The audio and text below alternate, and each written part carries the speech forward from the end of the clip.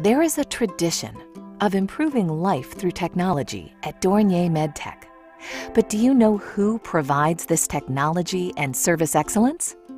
Our workforce is 40% military veterans by design because training, discipline, and commitment help them unite leading technology with the human element of serving others. As we embark upon 40 successful years in urology, let Dornier and our employee veterans provide your team with technology and service that improve the life of your facility and patients. Was, uh, my name is Vernon Wheeler, and um, I uh, was in the Navy. And uh, my time in the service, uh, I can say I had no idea what I was doing when I joined. I had no idea what I was walking into, let's put it that way. But uh, my father was in the Marines and uh, his father, and uh, we have a long tradition of, of military service in our family. And uh, uh, I, I, can't say enough about it. Uh, the relationships that I've made um, have lasted over the years. Um, a lot of the guys that I was with are actually, ironically, with this company.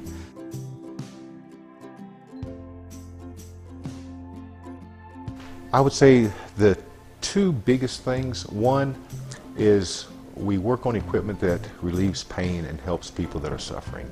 And, you know, that may sound corny, but I take pride in that. Uh, and two, the people. Uh, the people I work with make me a better engineer and a better person, uh, just because of the caliber and character uh, and decency. Uh, so our mission as a company and then the people that, that work toward that mission, those two are the biggest reasons.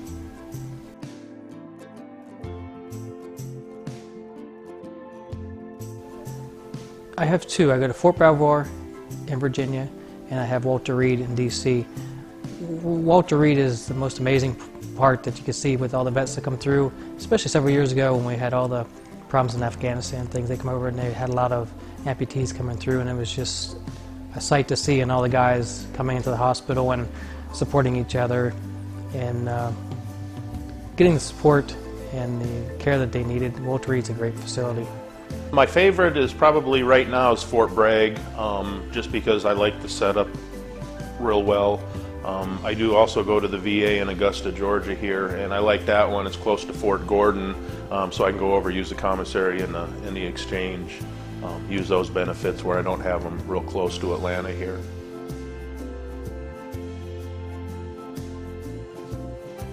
Uh, well, we have quite a few um, veterans at, at, the office, so we work together on a daily basis. And um, we, uh, it's, and, and, whenever you meet someone who, who was in the military, it's like an instant connection, it's like a bond, uh, because nobody really understands that kind of life uh, except for another uh, veteran. So we get along great and we work hard together. We have a great time.